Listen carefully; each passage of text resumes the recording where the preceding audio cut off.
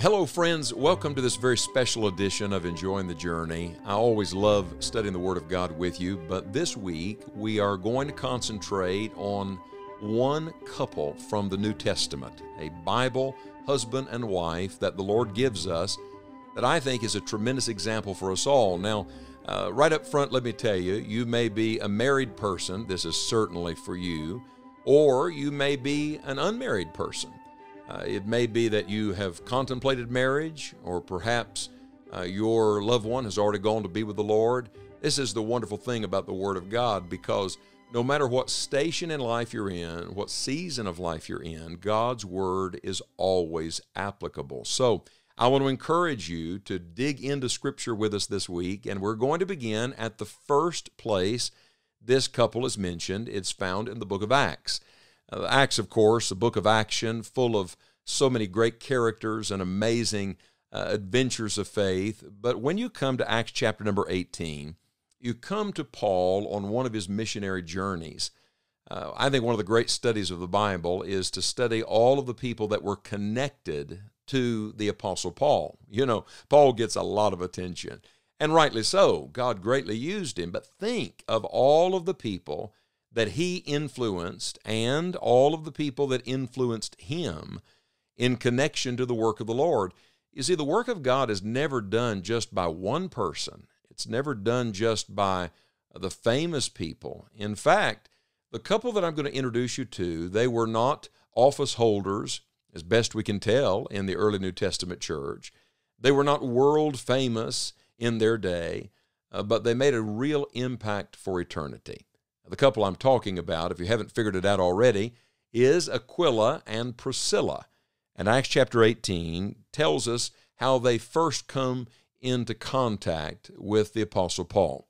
Acts 18, verse 1 says, After these things, Paul departed from Athens and came to Corinth, and found a certain Jew named Aquila, born in Pontus, lately come from Italy with his wife Priscilla because that Claudius had commanded all Jews to depart from Rome, and came unto them.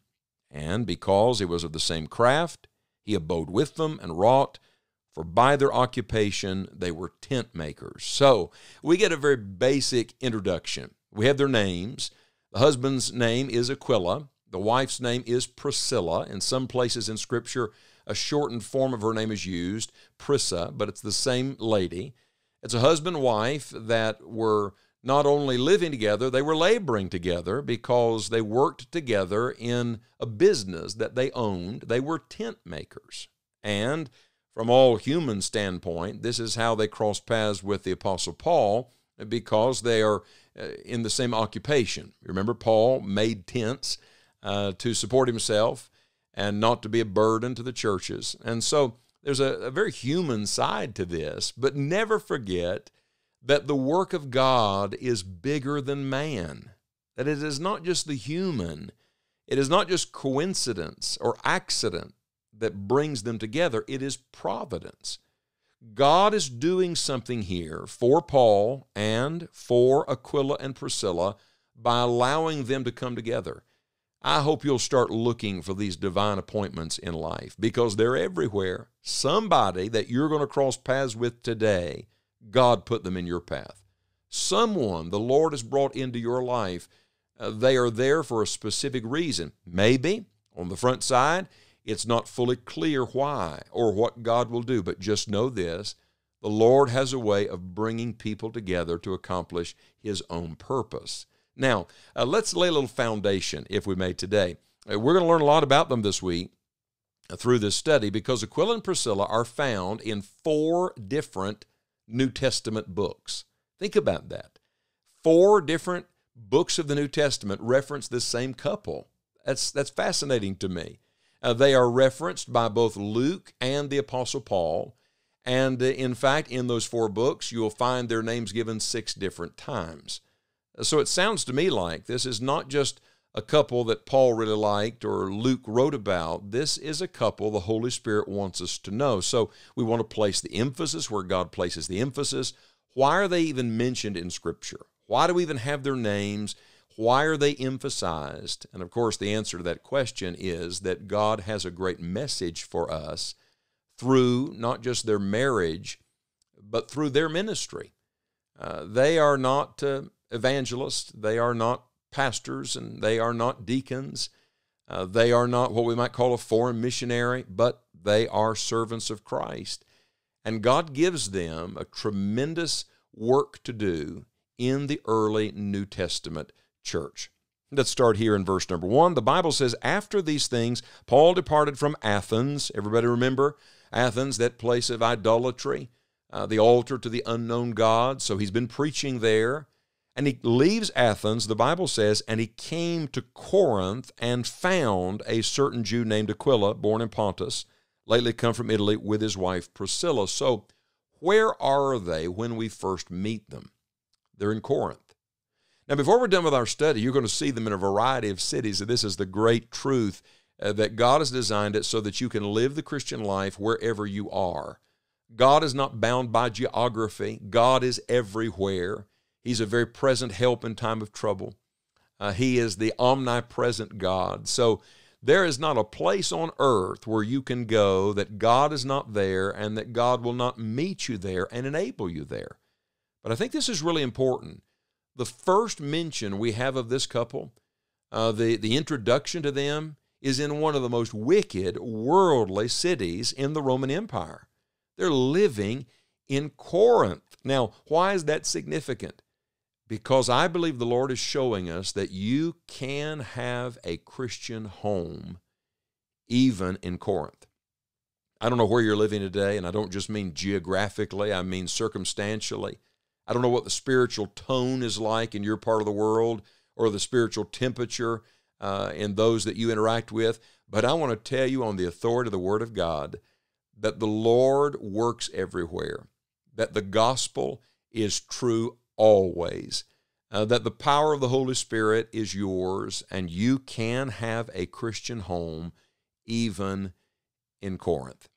Uh, let's begin with a couple principles, all right? The first is uh, that this husband and wife, Aquila and Priscilla, served the Lord. This is the most obvious thing, but they served the Lord together. It was not him trying to serve the Lord or her trying to serve the Lord, but they were a team. Can I tell you, this is God's intended way? Now, it doesn't always happen.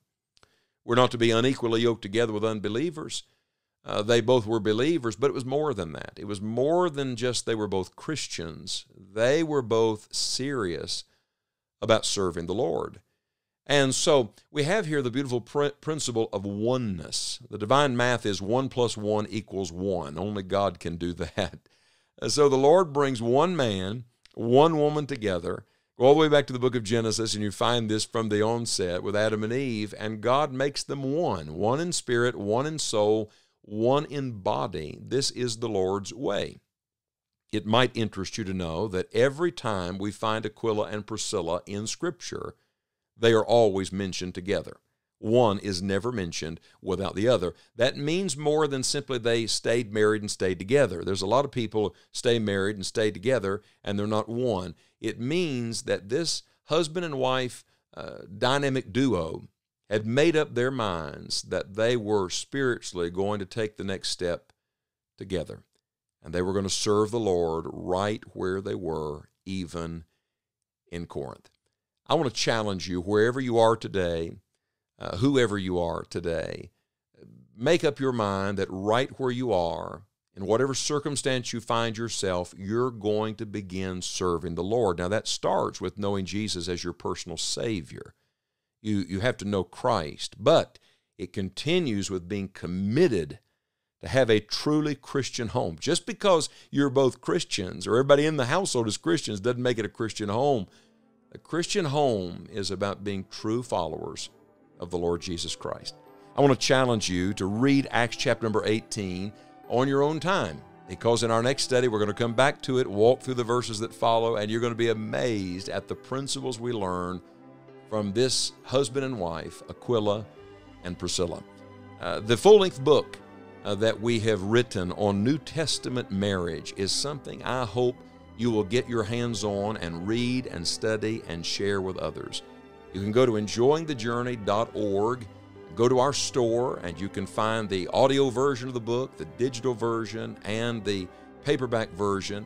Uh, I hope you'll get a copy of it and make this a study of the Word of God, not just a study of somebody in history, but a study of the Word of God to take the principles from their life and apply it to your own. God bless you as you study the Bible and serve the Lord.